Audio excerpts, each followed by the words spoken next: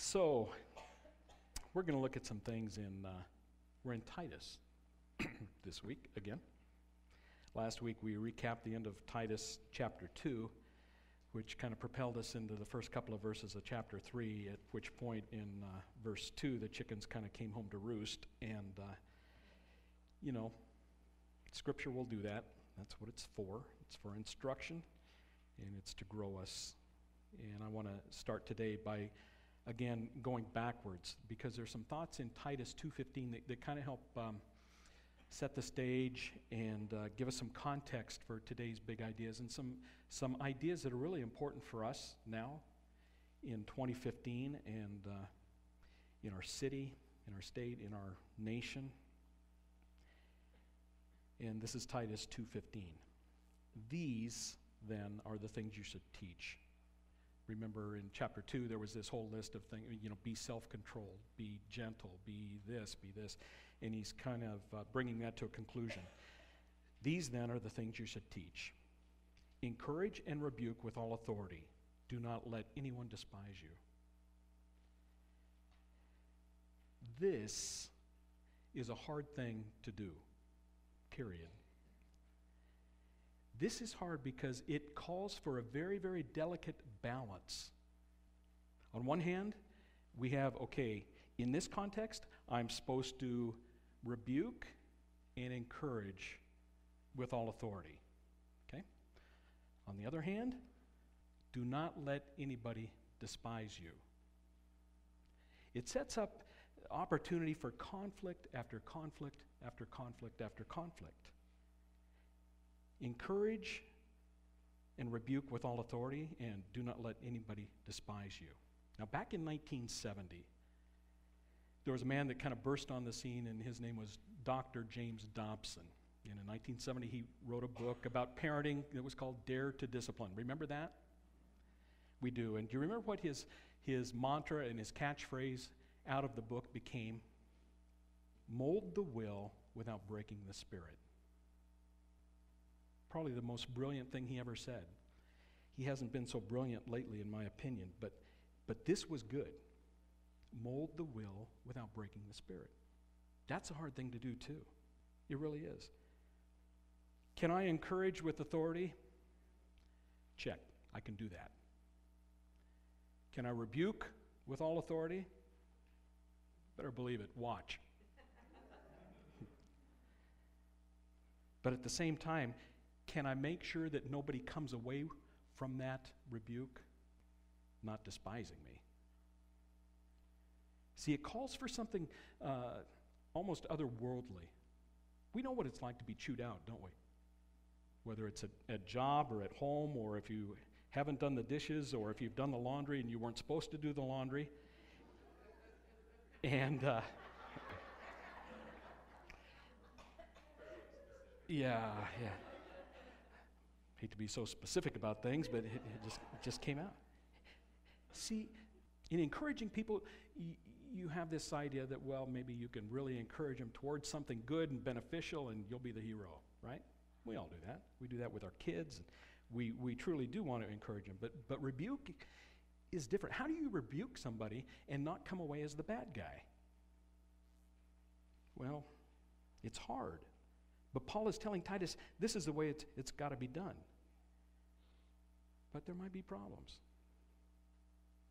But, you know, if we're right, we're right, right? There you go. If we're right, if it's the truth of God, why should we care if they hate us for it?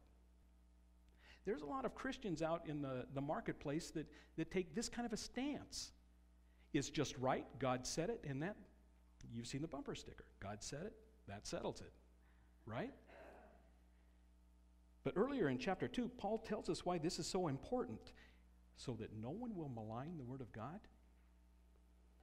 So they'll have nothing bad to say about us. And so, in every way, it will make the teaching about God our Savior attractive. Paul says these are they're, they're, they're two things that can be in conflict, but we have to find a, a resolution here. We have to find a way to encourage and rebuke, but do it in such a way where people don't come away mad at God, misunderstanding God, misunderstanding you. Authority for a disciple of Christ is an area where if that person is not personally disciplined, if they're not a person of, of even temperament, and if their mind and their heart and their spirit are not also under the discipline of God, we're going to have trouble. People like this quickly and easily begin to abuse their authority by using the force of their will instead of the power of love, power of God's love. They manipulate instead of motivate. They use the force of their will to make you adhere to a set of circumstances instead of the love of Christ. They guilt trip you. You've seen it, haven't you? And I've seen it. You can raise your hand to this question or not. Probably better not. Who here has ever been hurt by the church? You ever been hurt by the church? You've been run over by somebody who held a position of authority, or, or this person thought they had some kind of authority, and you just got plastered. You got run down. Totally unfair. You know people, and I know people who stopped attending a church because they say, the church hurt me. Now we can raise our hands. Do you know people who have said, the church hurt me, so I'm never going back? It's, uh, it's hurtful, isn't it? It hurts you when a friend says that. But I, I want to just really gently suggest here that that's a mistake. The church didn't hurt them. Somebody in a position of authority or somebody who thought they had authority hurt them. It wasn't the church. If this comes up in conversation with a friend and you think the time is right, try asking this question. When you think about how the church hurt you, whose face do you see? Institutions rarely hurt us, people do. But there's a lot of people, a lot of friends that we have that are suffering with this kind of hurt and anger against the church when it was really a person that abused their authority and ran them down. And this hurt continues to stifle their spiritual life, their quest for, for God and, and fellowship with Christ's church. And Paul says in his second letter to the Corinthians that we are ministers of reconciliation. When we recognize that, when we, when we understand that, when we understand where our friends are coming, coming from, we need to be ministers of reconciliation in order to build his church, not to keep us estranged and, as brothers and sisters. We have friends that will say, Well, I've done the church thing and I was hurt and I still believe in Jesus and I still read my Bible, but I'm never going back to organized religion or, in our case, disorganized you know, congregations. It's part of our job description to be a minister of reconciliation. Last week we began chapter 3 with this. Remind the people to be subject to rulers and authorities, to be obedient, to be ready to do whatever is good, to slander no one, to be peaceable and considerate, and to always be gentle toward everyone. Be the anti Cretan be the opposite of your culture. Because, Titus, for these people, it's normal for them to be obstinate in the face of authority instead of subject to it. It's normal for them to be disobedient instead of obedient. It's normal for them to be lazy when human need is staring them in the face. It's normal for them to slander people instead of keeping their mouth shut. It's normal for them to be inconsiderate instead of gentle with people. And I confessed last week, you know, uh, for myself, and I believe it's true for a, a, larger number of Christians in today's social climate, I haven't been authentic in my walk in modeling Christ in, in some of these areas. And, and I pointed out slander. And I told you why and what steps I'm taking to, to correct that, and how the Holy Spirit is nudging me and, and so forth. And then as Paul moves forward into this next part of the letter, Paul, in a kind yet impactful way, he teaches us how to rebuke when we must and encourage when we should. Here's how he does it he asks Titus to think back. Think back. Here's a little secret. You know how we've been talking in Titus up to this point about grace will teach you, grace teaches, grace teaches. Grace teaches by reminding us. And in this case, Paul says, the story of these Cretans we look down on, it's like holding up a mirror to our own lives. Listen to what he says. At one time, we too were foolish, disobedient, deceived, and enslaved by all kinds of passions and pleasures. We lived in malice and envy, being hated and hating one another. We too were that way. There was a time, Titus, when we were no different. Sure, I, you're a Greek and I was a Jew and a Roman citizen. Yeah, maybe we were better educated. Maybe we did have more advantages in life. Maybe we learned a lot from Greek culture. Maybe we were able to study in some fabulous places. And even though greed and avarice were native to the soil in Crete, you and I, we too were still plagued by foolishness, disobedience, deceived and enslaved by all kinds of passions and pleasures. We lived in malice and envy, being hated and hating one another. In fact, my name used to be Saul. I was evil. That was me. You remember who you were, Titus? See, grace has this incredible way of reminding us who we used to be. It does. But not to manipulate us, but to motivate us to practice grace in our own lives. God's favor, God's grace brings me exactly what I need to serve Him fully in this world. You know what that is? It's a big dose of humility.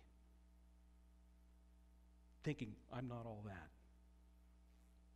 A big dose of humility. We were visiting with some, some folks yesterday, and, and um, they kind of, as our conversation went, we kind of swerved into this. You know how you'll be sitting in a worship service sometime and you'll look over here and, and there's somebody standing there with their, with their hands up and tears coming down their face? And you think, oh, what's up with them? It's just that sometimes, some moments, some places, you get this fresh awareness of God's grace. Where I once was, and where I am today. It's a powerful thing. And you never know when it's going to hit you. But grace floods in, washes me in humility, and that's how it comes out. Profound thankfulness. You can't help but weep. Scripture says it's not God's rebuke that leads us to repentance. It's not His scolding us that makes us fall in line, it's His kindness.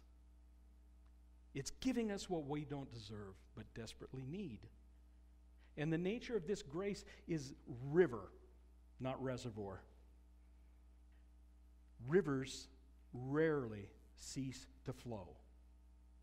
But a reservoir, reservoir is something different. Reservoir things are let out as somebody decides. You can't look at a river and say, turn it off. But you can look at a reservoir and say, shut off the spillway, can't you? Totally different things, holding the same element. So, which one are you? Does grace naturally and easily flow from your life?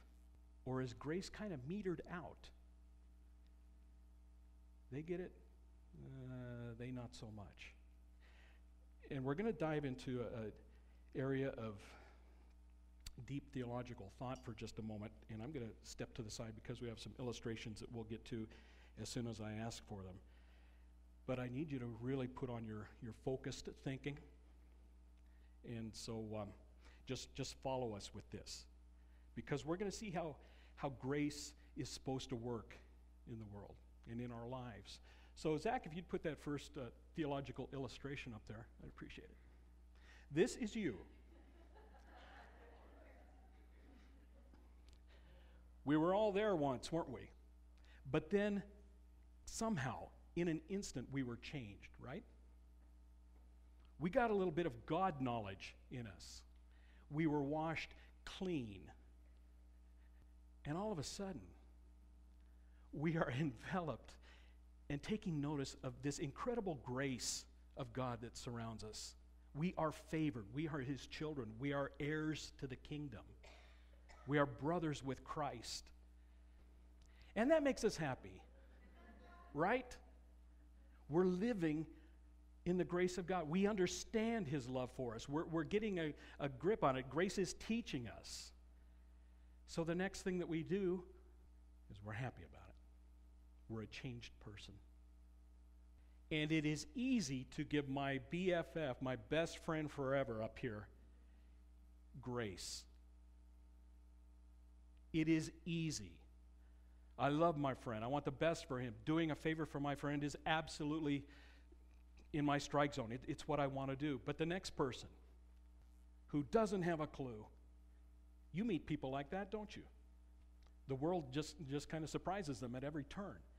A little harder to give them grace. And the next person, that stupid, stinking, flaming extrovert. You know?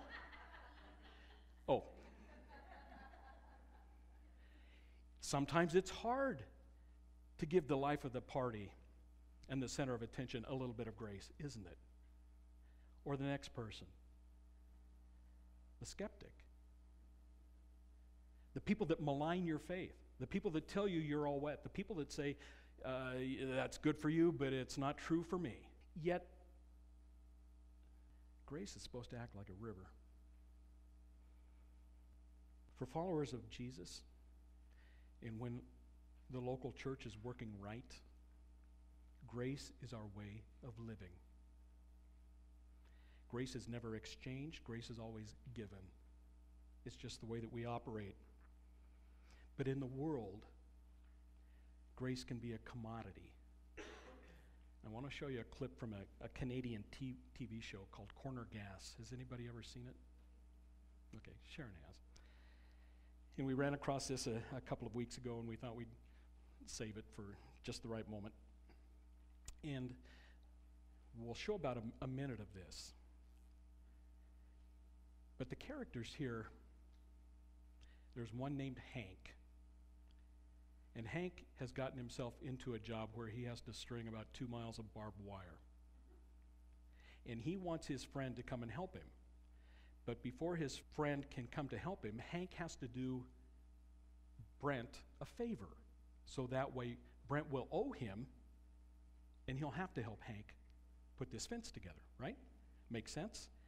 So, what we have are Brent and Lacey, who owns the cafe next door, talking about how to get out of this issue with Hank and owing him a favor. So, Zach, let's let her rip. So, thanks to you, I still owe Hank one. Well, I'm sorry, I didn't know. Hey, Hank owes me one, right? Yes, he owes you my one. What if I call in a favor, get Hank to help me with something, and then you show up and help Hank help me? So I do one for him while he's doing one for you. Henceforth, I've given him one and I won't owe him one. Well, not the proper use of henceforth, but yeah, that's the idea. I'm into that. I'm up on it. I'm down with it. I'm all over it. Now, what favor could we get Hank to do?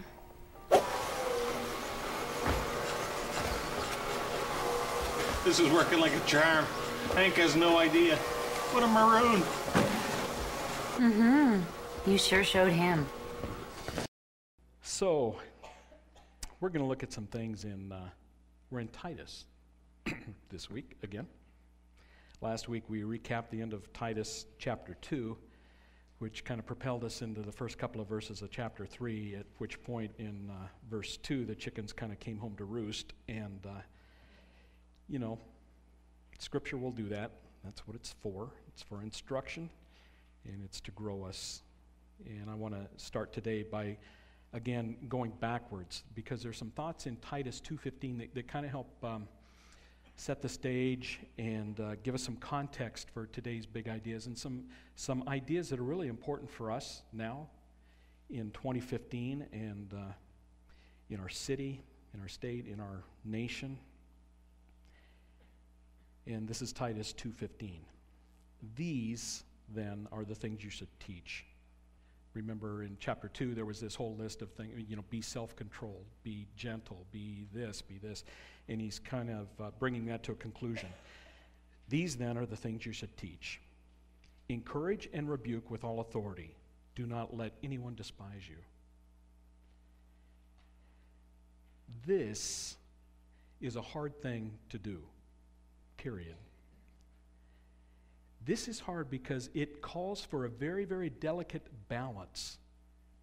On one hand, we have, okay, in this context, I'm supposed to rebuke and encourage with all authority. Okay? On the other hand, do not let anybody despise you. It sets up opportunity for conflict after conflict after conflict after conflict. Encourage and rebuke with all authority, and do not let anybody despise you. Now, back in 1970, there was a man that kind of burst on the scene, and his name was Dr. James Dobson. And in 1970, he wrote a book about parenting that was called Dare to Discipline. Remember that?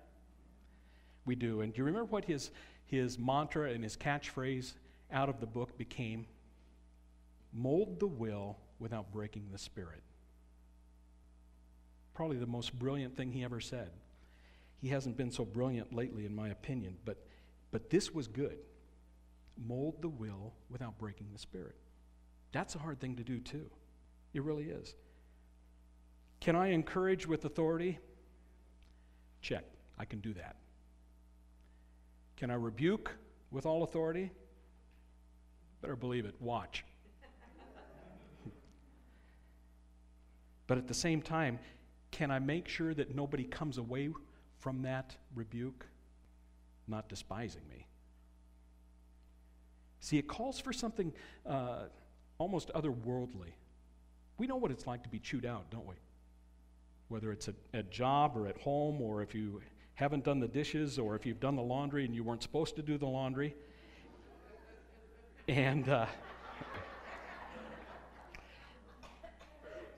yeah, yeah hate to be so specific about things, but it, it just, it just came out.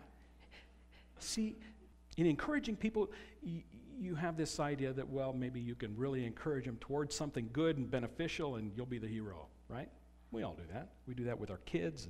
We, we truly do want to encourage them. But, but rebuke is different. How do you rebuke somebody and not come away as the bad guy? Well, it's hard. But Paul is telling Titus, this is the way it's, it's got to be done. But there might be problems.